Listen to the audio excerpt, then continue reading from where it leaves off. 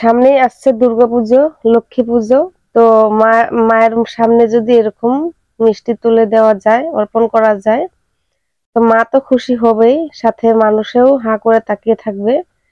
জিজ্ঞাসা করবে যে, এটা কীভাবে বানালে? তো এই অ্যাপেল সন্দেশটা দেখতে একদম অরিজিনাল অ্যাপেলের মতনই দেখা যায়। তো আমি কীভাবে বানালাম? আসুন, সম্পূর্ণ ভিডিওটা দেখতে থাকুন। নমস্কার বন্ধুরা, আশা করি আপনারা সকলে অনেক ভালো আছেন। তো আজকে আমি আপনাদেরকে একদম দুটো উপকরণ দিয়ে খুব সহজে আপেল সন্দেশ করে দেখাবো। তো দোকানে দেখা যায়, তো সুন্দর করে সাজিয়ে রাখে। সেরকম ভাবে যদি আমরা অল্প কষ্ট করে বাড়িতেই বানিয়ে খাই, তাহলে একদম মানে কোনো প্রবলেম নাই, খেতেও খুব দারুণ লাগে। দেখতে যেরকম সুন্দর, খেতেও কিন্তু অসাধারণ লাগে। তো আমি কীভাবে বানাচ্ছি আপেল সন্দেশটা প্লিজ আপনারা শেষ অবধি দেখতে থাকুন। আশা করি ভালো লাগবে। তো দেখুন আমি এখানে তার জন্য দেখুন চিনি নিয়েছি, আর এখানে গুঁড়ো দুধ নিয়েছি।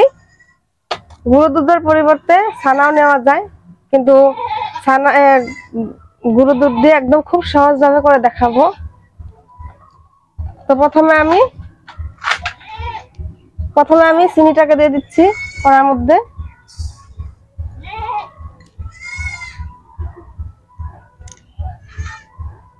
আর যতটুকু চিনি দিয়েছি তার ডাবল দেব জল।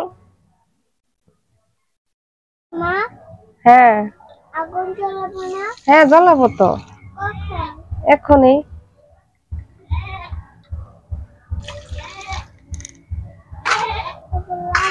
তো এবার আমি গ্যাসটাকে অন করে নিচ্ছি। হুম। এবার আমি চিনির শিরাটাকে ভালো করে গলিয়ে নিচ্ছি। এখানে মুখে আগুন গেছিল যাবে না?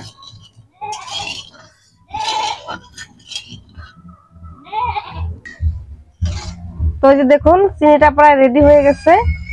আর বাইরে হচ্ছে প্রচুর বৃষ্টি আর এদিকে হচ্ছে পাশের বাড়ি পুজো মাইক চলছে। আপনাদের অসুবিধা হতে পারে তার জন্য আমি দুঃখিত। তো এখানে মেন কথা হচ্ছে চিনি আর গুঁড়ো দুধের মাপটা পরিমাণ মতো নিতে হবে। আর ছানা দিয়ে করলেও চিনির মাপটা ঠিকভাবে নিলেই কিন্তু বেশ ভালো হয়। তো চিনিটা কীভাবে, কীরকম রাখতে হবে শিরাটা? আমি আপনাদেরকে দেখাই দিই।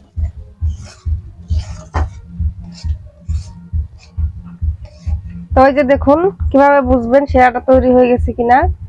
এভাবে অল্প তুলে হাত দিয়ে অল্প নিয়ে দেখবেন, তার হয়েছে এই দেখুন এই দেখুন, তারের মতো হয়ে গেছে এই যে। তার হয়ে গেছে এই যে। দেখুন, তার হয়ে গেছে সুন্দর। এবার আমি গ্যাসটাকে অফ করে দিয়েছি। তারপরে এখানে এই যে গুড় দুধটা নিয়েছি, দিয়ে দেব। অল্প অল্প করে দিয়ে মেশাতে থাকব।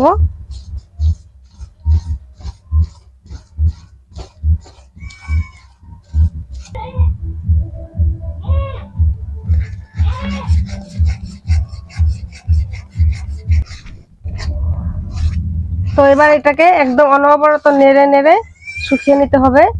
আর এই পর্যায়ে আমি দিয়ে দিচ্ছি এখানে এক চামচ ঘি। চা চামচের এক চামচ ঘি দিয়ে দিচ্ছি।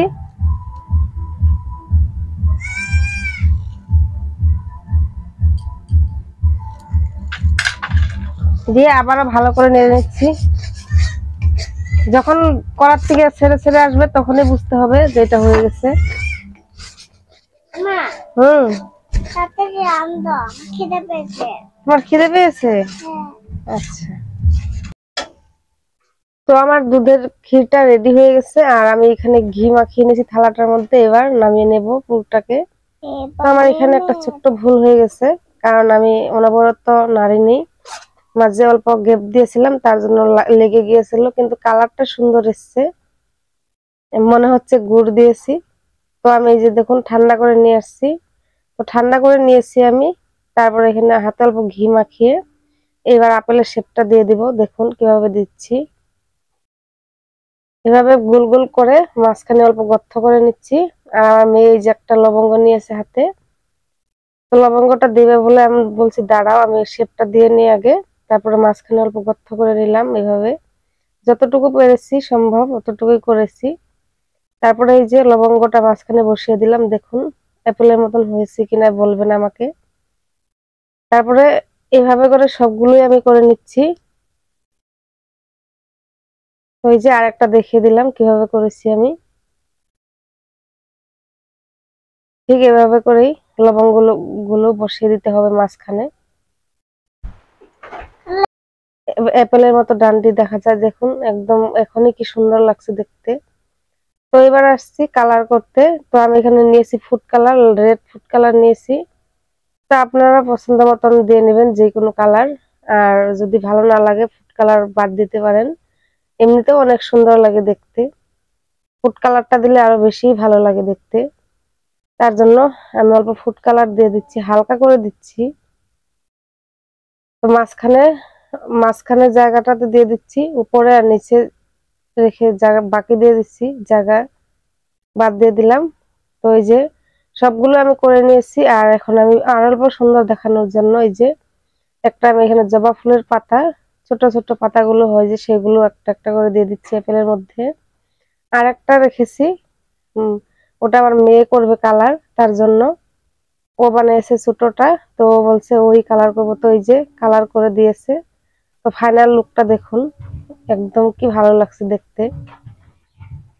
এই যে দেখুন আর আমার হাতে দেখুন রং করেছিলাম বলে কীরকম লেগে আছে। একদম অরিজিনাল অ্যাপেলের মতো লাগছে দেখতে। এই যে দেখুন। বন্ধুরা আপনারা তো দেখলেনই কত সহজে বানিয়ে ফেললাম। আপনারা একবার বাড়িতে বানিয়ে দেখবেন। হ্যাঁ আর দেখতে দেখ কত সুন্দর হয়েছে দেখুন। একদম অরিজিনাল অ্যাপেলের মতো লাগছে। তো আমরা টেস্ট করে দেখি কীরকম হলো। তুমি কোনটা খাবে? এটা নাও ধরো নাও। আমি কোনটা খাই আমি এটা খাই। বড়টা খাব। হ্যাঁ বড় যে আমি তার জন্য বড় খাব হ্যাঁ। আমিও বড়তে তার জন্য আমি এটা খাব।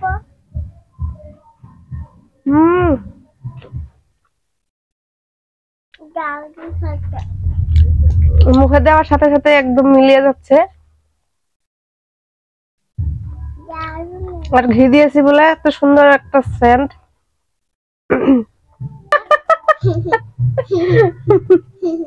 এটা কি হয়েছে তোমার?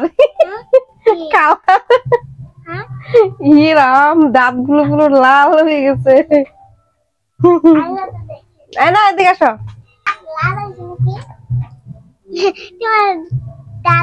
আমার লাল হয়েছে নাই?